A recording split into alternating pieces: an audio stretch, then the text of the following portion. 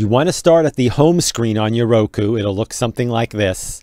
And then we're going to show you how to press a sequence of buttons on your remote to pull up a Roku screen uh, where we'll have to change a setting to get your Wi-Fi going. Okay, um, if you don't follow these presses, we're actually going to put them on top here so you can read them as well and write them down. But you want to push the home button five times. Fast forward, play, rewind, play, fast forward. And that should bring up this screen that we're going to right now.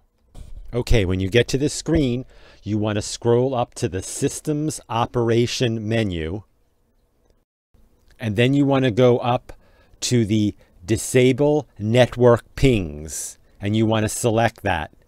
If you select it, it'll actually turn to Enable Network Pings. Okay, that should fix your problem. I do recommend doing a system restart though uh, before you try it just to make sure. And I'll talk you through that. That's pretty easy. Just go back to the home menu. You want to go now into the settings menu.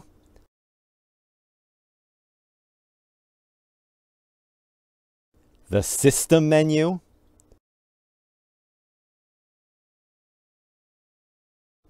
System restart.